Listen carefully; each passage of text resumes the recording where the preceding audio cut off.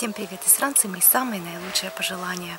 Христос воскрес, дорогие мои зрители, дорогие мои подписчики, дорогие мои друзья и вообще все мои родные люди.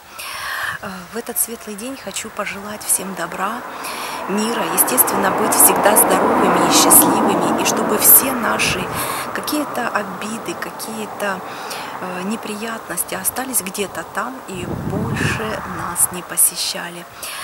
У нас, как вы видите, уже очень жарко. Я уже абсолютно в летнем платье. И э, это тоже радует, поскольку э, приближается лето, лето пора, которую любят все. И еще, э, что, чему я очень-очень рада, это то, что вчера уже начался наш переезд.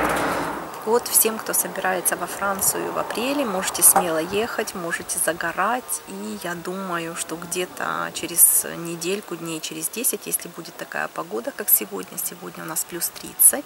И э, если так продержится, и даже ну, 26, 27, 30, то море уже согреется. Так что имейте в виду. Ну и спасибо всем большое, что вы были со мной. Христос воскрес! И всего вам самого доброго и самого светлого. Пока-пока, до новых встреч!